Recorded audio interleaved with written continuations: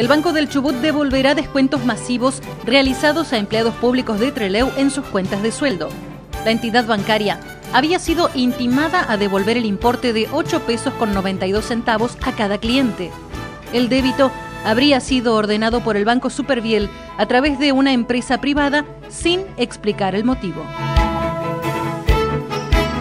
El Museo Paleontológico Feruglio realiza una promoción de fin de año. Del 18 al 31 de diciembre, los menores de 12 años no pagarán entrada. La entrada general para mayores tendrá un valor especial de 100 pesos durante ese periodo.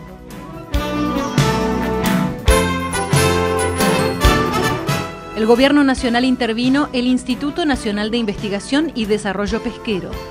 La medida es por 180 días y se debe a una serie de conflictos de personal que derivó en una paralización de actividades.